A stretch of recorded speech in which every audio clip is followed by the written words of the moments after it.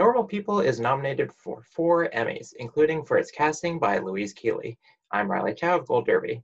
Now, you have over 100 credits as a casting director, and this seems to be your first nomination from any organization. Do you mm-hmm. feel like you do or you did uh, have a thankless job? A thankless job? No, not at all. I love my job, and I've always loved my job. Um, I love working in Ireland. I love working in the Irish industry. Um, I feel really rewarded by my job. Every time. I always say at the points at which I sort of get to the read through and we see the world in which we've created full of humans who are about to sort of embody these characters and there's that kind of weird first day of school feeling and uh, that's where i get a huge amount of joy. So yeah no not thanks at all. Now what were the biggest reservations that you had in casting paul mescal and daisy edgar jones um reservations uh honestly Ray, i can't think of one. What was really exciting about casting them was the sort of um, the fact that the decisions on both sides and then together of course was entirely unanimous. So obviously there's me and my colleague karen scully who works with would be the casting team. And then of course um, ed guiney catherine magee um, emma norton and lenny abrahamson and so you know we found paul very early on which i'm quite sure you guys have spoken about already and um, and there was just a sort of a real excitement around this guy Paul Mescal. And then, of course, when they met him, it was terrific. Um, and then when Daisy came along, we recalled them very quickly, and we had seen at that point, I mean, an immense amount of talent. And um, and yeah, no, there was no reservations. Like literally on the day when the two of them uh, recalled, they read a number of pieces together, and um, they left the room and we sort of very cordially like you know brought them out and thanked them and that good stuff. And then when we went into the room we all kind of high-fived and made a big yeah it was terrific. So um i don't recall any reservations to be honest. What about his lack of experience uh, in television that's a really good question um and actually not something which has come up before uh that happens every now and then you know in casting as you know um when an actor is really terrific. I mean, now in Paul's case, he had trained in the Lir, which is um, one of the top drama schools in Ireland. So his foundation was there, and I'd seen him in a few plays there. Um, and there was a lot of uh, really excited kind of talk around this actor called Paul Mescal. And then, of course, um, the Gate Theatre in Dublin sort of nabbed him directly out of drama school, and then he went into the Gate and the Abbey. So he had worked in theatre quite a lot. And I mean, yes, he had very little experience, but also yes, he was the right person for the job and um and a clever enough person who was going to learn quickly the stuff that he would need. But at the end of the day, it was more important that um, the right actor um, embody Connell rather than sort of lots of days on set and their experience, you know. And when you're meeting with the executive producers to cast these roles in the first place, are you kind of just bringing your own ideas to the table, or are you all settling for like, you know, this role has to have these certain qualities? Um, I mean, it's definitely collaborative, but at the beginning of every process, um, you know, it's like when you read a book. It's sort of you kind of imagine who this person is, and more often than not, I sort of am driven by instinct and a feeling and a quality in a character and a quality in a person. And so it's sort of that kind of human, kind of intangible, those things. And then varying projects require varying things. So of course, sometimes, um, you know, you have to sort of uh, kind of look for more experienced actors, and sometimes you're looking for people with various skills and all that stuff. And um, and yes, of course, when we start the process, um, I will have definite ideas about who might suit the roles, but also definite ideas about a plan in which we might go and find people with kind of very like um expert sort of ballet you know skills or you know all that good stuff. Um and then the director and the producers will have their ideas as well. Um it's very collaborative but it's and it's very important um that that I have ideas otherwise you know people aren't going to give me the job you know, yeah. Did you have any ideas about who you might like to cast? Um, you know, putting the time period aside, like you thought, like, oh, like this character of Marianne would be great for this actress, you know, 50 years ago or something. you know, often there is a sort of a, well, you know, you've seen this film and you've seen a wonderful actor like Rachel McAdams or Nicole Kidman, and you kind of you do sort of have that kind of feeling. But when it came to Marianne and Connell, um, it was much more about because the source material was the book for you know until the scripts arrived and um and it was much more about those characters on the page in the book and finding people to sort of inhabit those. And um and we started off with a very blank page as in um yeah it was you know it was sort of casting the net wide kind of thinking about maybe more experienced actors but also people who are kind of starting out and just actually genuinely looking for the right people at that point. Yeah. Okay so you didn't have the scripts when you were starting out then? Not at the early stages no. I mean they were being written but we worked off the book yeah. Okay. at the early stages and then of course the the scripts followed. Yeah. So what were you looking for in marianne and connell?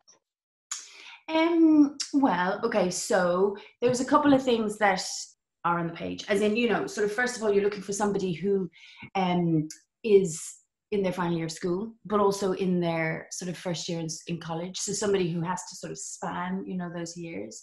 Um physically and kind of you know obviously with the help of costume and all that stuff they will change over those years. But somebody who is physically believable as a person in their sort of final year of school um we were looking for um kind of i mean you know you could sort of go down the whole well he plays gaa football and you know she's kind of got a coolness about her. But but it was much more to do with um the kind of desires and the wants and the needs of the two characters and the kind of difficulties within those characters. And i suppose what you know paul and daisy both of them i kind of it's hard to speak about one and not the other but it's um what they were able to sort of inhabit or and project therefore was all of those kind of detailed nuances because of course um, and also the arc. I mean, my goodness, like, you know, you kind of go into it sort of looking for these two 17 year olds, and, you know, he's the sort of hero in the football team, and she's the kind of slight outside, but maybe a little bit cool. And we kind of can see that, you know, things are going to change for them, but we have to be able to find the people who are able to um, uh, kind of get to the point at which they have absolutely like he has unraveled to the point at which he's in that scene with the therapist and she is um in like she goes to sweden and, and experiences all that sort of physical stuff you know?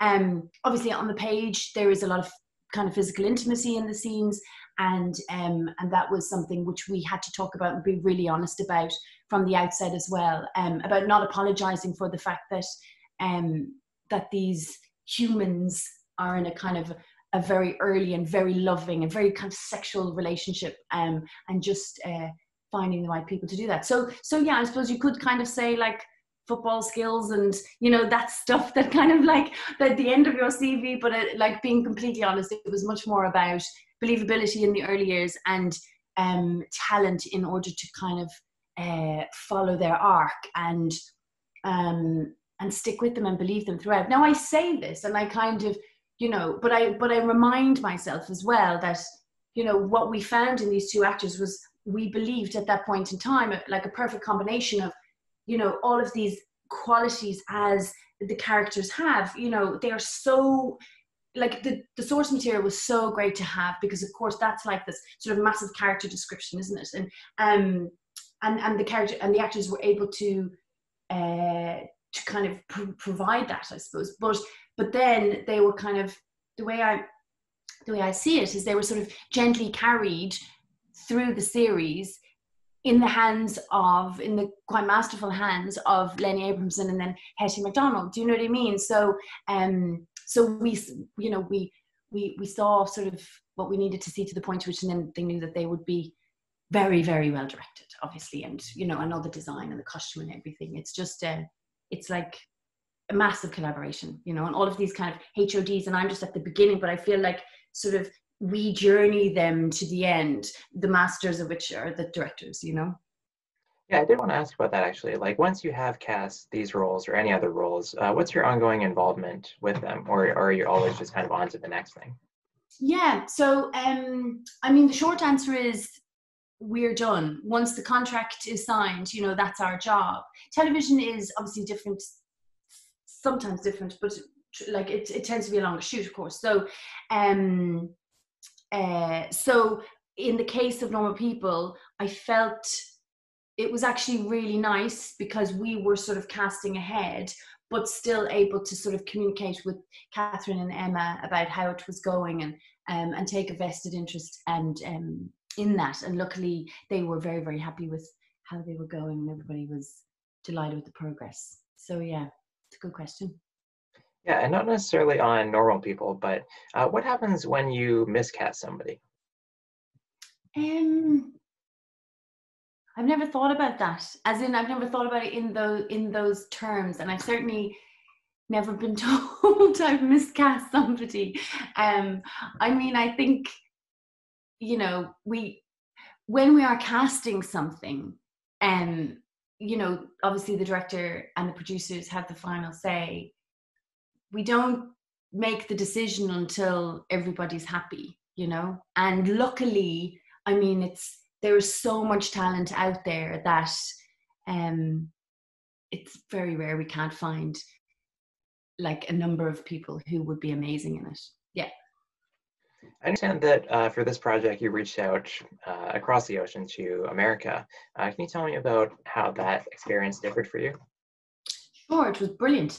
Um, I love collaborating, and um, and I've done it a few times um, on sort of bigger studio films for um, like international casting directors. So this time, what we did was um, we reached out to Susan Shopmaker, who is a casting director in New York, and she very kindly did a search for us on the ground in New York. So her sort of invaluable local knowledge around kind of people working in theatre or the Paul Mescals of the world started drama school, you know, that kind of stuff. So she was great. And then Matt LaSalle, who she works with and is friendly with, obviously helped us in LA. So I mean, I think that's brilliant. Like, you know, as I always say in my in my company, there are three casting directors and three casting assistants, and I just feel really strongly that six heads are better than one. You know, so um, so Susan is amazing, and um, and then of course when we went to Scandinavia for the Lucas role, um, Anders Nygaard, who works out of Copenhagen, was there to help us uh, with that, and again, just was brilliant. Um, and does the stuff that I don't know. Do you know what I mean?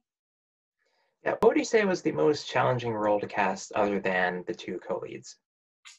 Um, again, that's a really good question. I think, I mean, sometimes there was sort of practical stuff around availability, you know, kind of later down, you know, we would have seen people from Marianne and Connell and then you sort of come back around to another actor for a different role and they might have an issue with availability and that can be tricky. So that's kind of boring practical stuff. Um, uh, it was just really important that we kept going. And sometimes the, the sort of recalls and sometimes the searches took a while. You know, it was never sort of, you know, two days later we've got this guy, and three days later, it you know, each character took its own sort of investigation, and and we had to kind of curate that that group, those two groups, like correctly.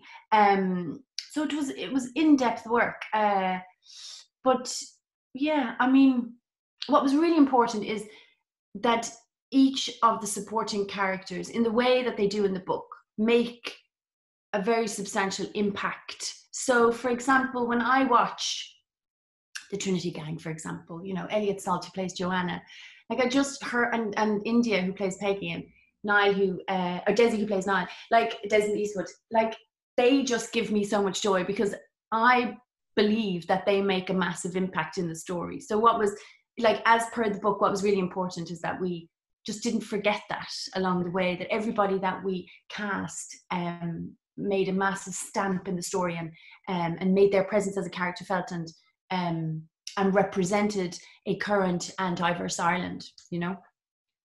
All right, Louise, uh, thanks very much for taking the time to chat. Uh, best of luck to you at the Creative Arts Emmys coming up. Uh, we have many other normal people interviews on our YouTube channel, as well as interviews with other Emmy nominees.